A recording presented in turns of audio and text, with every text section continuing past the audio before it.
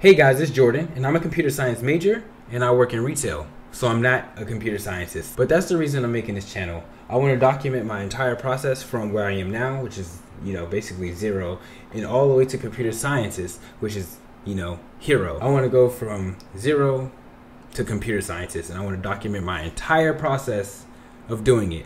Mainly because a lot of people that make YouTube channels and they're software developers or they're into computer science, they do share their experiences and everything, but what they do is they start after the success. So what I plan on doing with this channel is showing you guys while I am terrible at math and while I am still basically a beginner in programming and still brand spanking new, showing you guys from zero to hero, from a nobody to a computer scientist in real time. I feel like by doing this, you guys would be more into it because you guys are following me along the journey of while I'm actually still in school, haven't even got the associates yet. I'm not even a junior yet. And, you know, just following me through the whole process of getting my bachelor's, getting a job, me giving you advice about how I actually got the job when it actually happens. And you guys can just learn while I learn. And that's the other reason I'm making this YouTube channel is to teach you what I'm learning while I'm learning it because teaching is actually another way of studying. So if I'm teaching my viewers what I'm currently learning, I'll understand it more, I'll get a better concept of it, and I will actually be giving out knowledge of what I'm learning. So I'll be helping a community, which sounds like a really great idea. Now, basically, who am I? You know, I'm just some random guy. Who am I?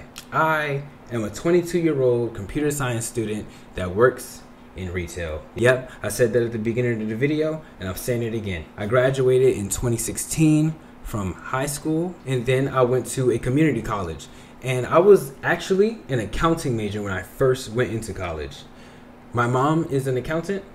I love her. I took an accounting class. I got a B, so I said, why not? I honestly didn't know what I wanted to do. And honestly, after I failed my intro to algebra class, the first time I've ever failed a class, I dropped out. I dropped out and I saw that a guy that I now still watch on YouTube, Graham Stephan, great person, he suggested real estate. And you know, me, I'm 18, I'm broke, obviously. I don't have any direction in my life, and I honestly do like houses. So, I went for a real estate license.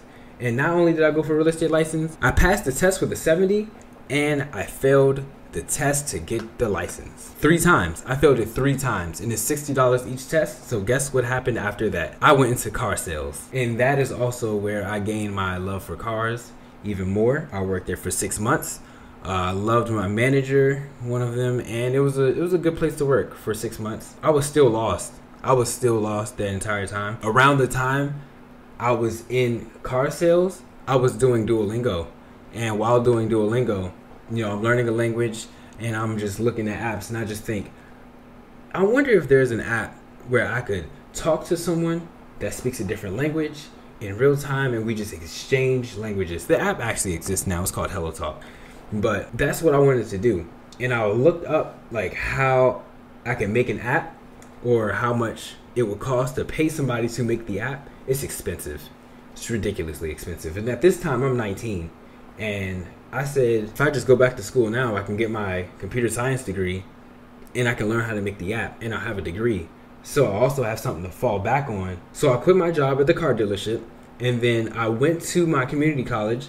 I changed my major to computer science and I st- I couldn't start in the spring, which is when I wanted to start, but I started in the fall. Now, fall happens, I'm taking a very easy English class, and I'm taking an intermediate algebra class, the same one that I failed that made me drop out. And guess what I did, guys? Just guess, just guess. I failed again. But something happened this time because I didn't quit. So I had to go talk to like the head of the math department to allow me to take the class again because I need it for my major, obviously. And I take it again, and this time my friends in that class and I have a very very good teacher and I pay attention the entire time. I'm taking math seriously and I passed with a B. And then I ended up going to pre-calculus part 1, passed with a B. Then I went to pre-calculus part two, passed with a B. And while I was taking the math classes, I was taking like my beginner technology classes. So I took intro to technology, which I passed with a B. I took my intro to programming after that class, I passed with a B. And then I took my Java class and passed with a B. I'm a B student, but I have a 2.8 GPA. So you guys are also going to follow me as I try to get to that 3.0, baby. Now, at this point, it's summer, the summer that just passed, okay? I take Calculus 1. I'm scared because remember, I'm bad at math. Passed with a C, and now I'm in Calculus 2 and I'm in Computer Science 1. Now, these are my goals.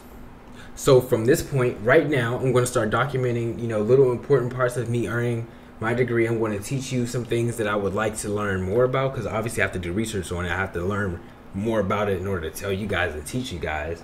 And I'm going to just probably live code some projects when I can go live because I need a thousand subscribers to go live.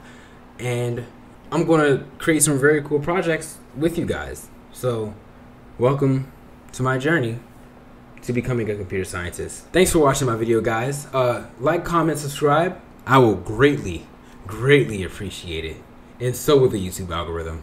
Thanks for watching, and I will see you in the next video.